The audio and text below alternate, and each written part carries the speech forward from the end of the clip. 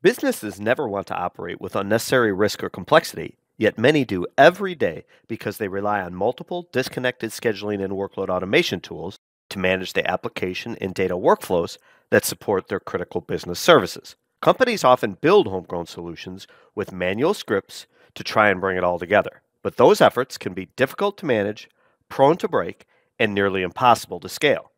If you want to eliminate risk, increase agility, and reduce complexity, Embracing a single application and data workflow orchestration platform is the way to get there. But that's easier said than done, right? Well, it's not as hard as you might think. BMC Helix Control M has a built in conversion tool designed to help you automate the conversion of your current workflows.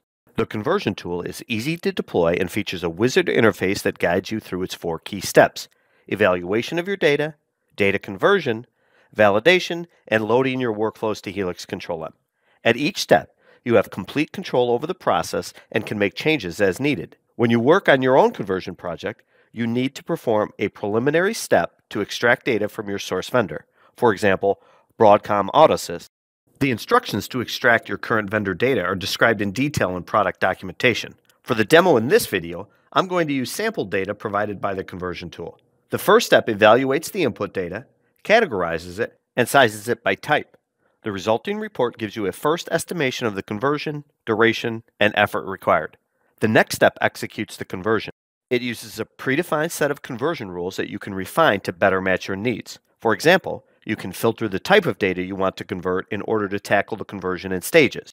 The conversion results are provided in the form of messages and actions which give you detail on how much data was converted successfully and what modifications may be required. Information about issues and recommended actions are also included. You can go back through the conversion and make updates until you are satisfied with the results. Finally, in the Load to Helix Control M step, you can import the converted data directly. You might be thinking, what if the workflow automation tool I want to convert isn't included in the list of out-of-the-box conversions? Helix Control M has a built-in self-conversion tool with an easy-to-use wizard that will guide you step-by-step -step through setting up your custom conversion. If you want additional support or someone to help manage your entire conversion project, BMC's Customer Success Consulting Services organization and Global Partner Network are also available. Want to learn more? Visit www.bmc.com slash helixcontrol-m.